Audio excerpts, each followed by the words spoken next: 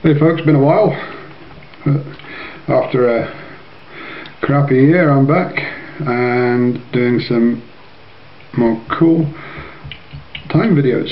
Um, obviously using Gliss n Glint steel, which is cool because it's probably the best stuff out there for making large pike flies. Um, today I'm gonna I'm gonna show how to make a, um, a six or seven inch fly.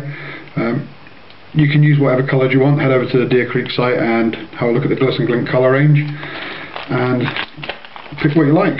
Um, your only limits are your own imagination. So what we're going to do is get some materials out first. You just got to love this stuff. Just got to love it.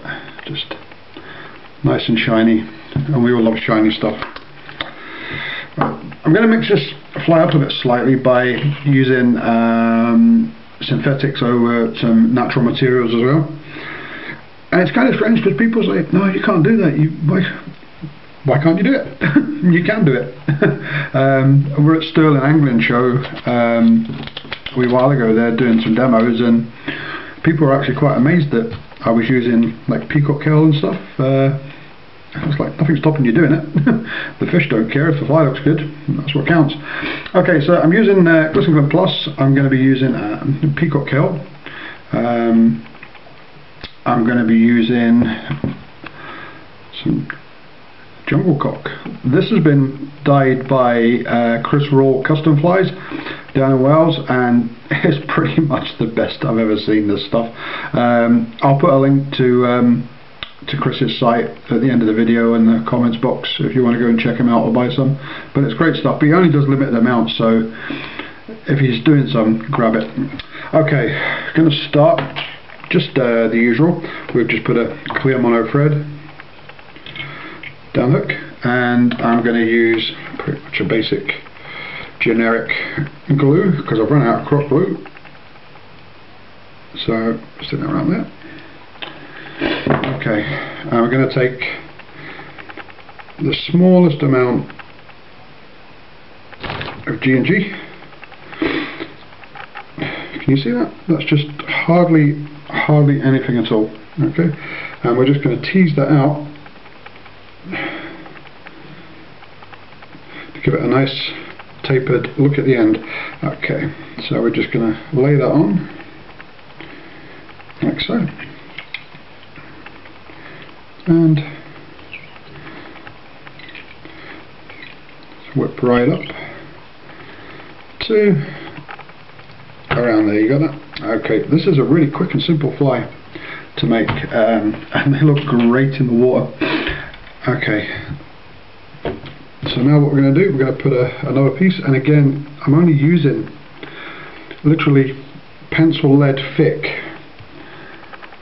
sections of this stuff because the less you use the better it is in the water. Um, and it's hard to show you this unless I actually go out and do a video um, of a fly swimming about which I may actually do. Um, but this stuff is pretty amazing in the water. Um,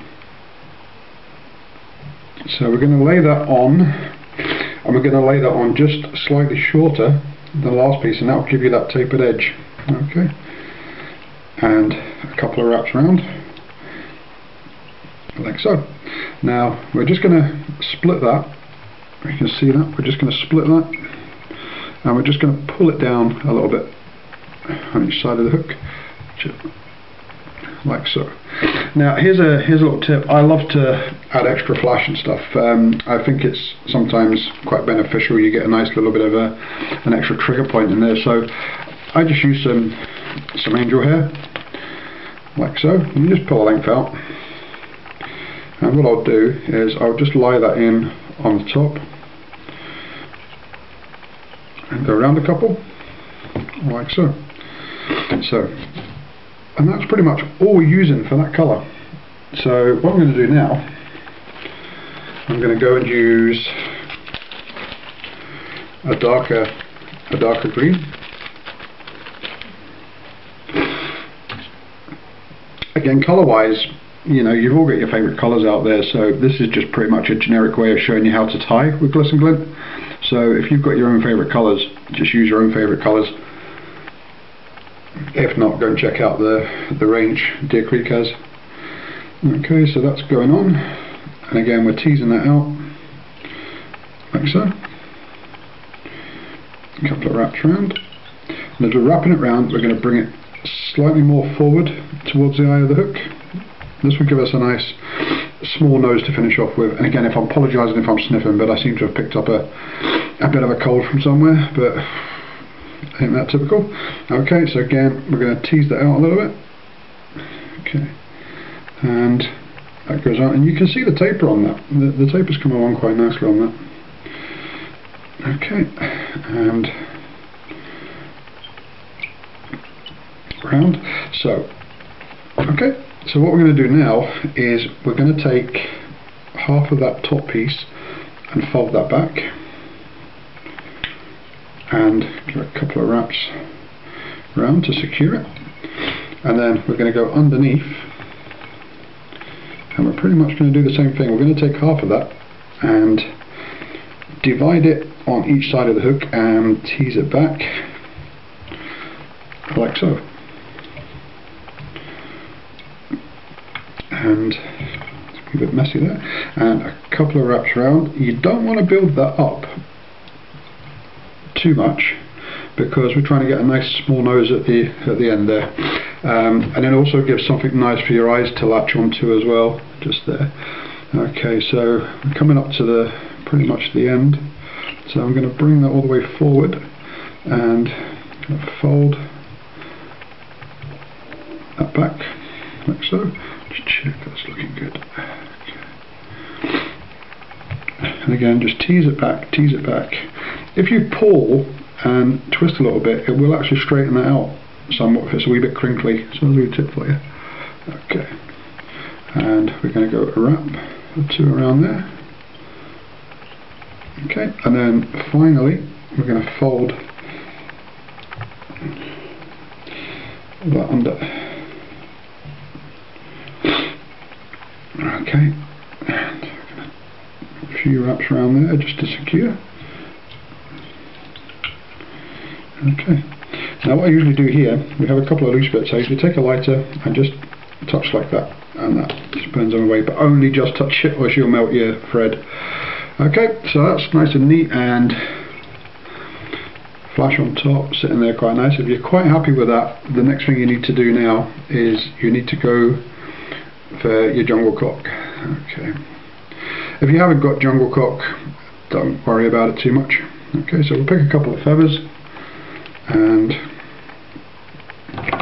what I'm going to do, I guess the trout fishers may think this is pretty sacrilege doing this, but I'm going to cut them about there. Not know much about trout flies.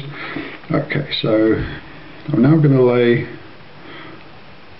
one on there. And a few wraps around to secure. I'll show you this when it's done. And take another one. That's a tricky bit. And lay that on. And a few wraps around to secure like so. Okay that's I'm happy with that positioning so what I'm going to do now is I'm going to go for a couple of pieces of peacock herl. I got this from um, Rich Anthony, one of the protein guys, um, the last fair we done. I don't know if he sells it, no idea. Um, if you can track him down, you can ask him. Um, so, I use peacock herl, I think it makes a nice contrast on the back of the fly.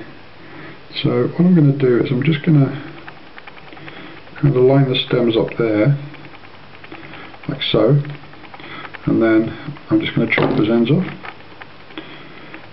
And then I'm going to put that on. Like so, a few wraps around you can put as much of this on as you like um, pretty much until you're, you're happy with your, with your end result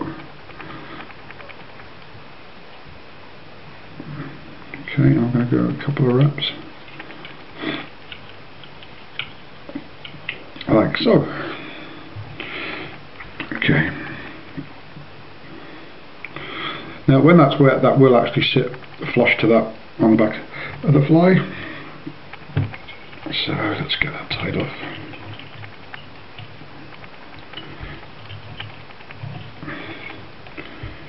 That's it. Okay. I think with this colour, um, this is one of those flies that you could pretty much use anywhere. I think salt water, fresh water, pike, muskie, whatever. Um, I think it will catch fish wherever you go. Okay, so we have the basic outline there. Now what we're going to do, we're going to give this a zap.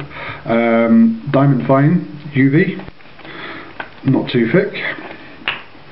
So what I'm going to do is I just, a lot of the trout guys put this on and then they spread it around with a, with a bobbin. Um, obviously with doing pike and predator flies you don't need really that finesse. So I just put a little bit on and just spread it around like this. And this will actually make this pretty much bomb proof and that when you UV it ain't going anywhere. I'll give you a wee tip as well. If you um, if you use this and you, and you go out and think, oh, that's still a wee bit tacky. What's going on with that? Just check for your batteries because obviously, um, if your batteries start to wear down, then it's not gonna it's not gonna cure it properly. You always need good good batteries in these torches. Okay, so um, the next thing I'm going to do now is stick the the eyes on. Um, I just love. There's no, in my opinion, there's nobody better at doing eyes than Deer Creek. Um, you know, there's a lot of people that copy them. There's a lot of people that maybe steal ideas, but to me, Deer Creek eyes have always been innovators and the leaders in 3D eye and drop epoxy resin 3D eyes. Um, that's why I continue to, to use them and why I continue to to push them. So I'm just putting a bit of a bit of glue that. This is I, I say I usually use crock glue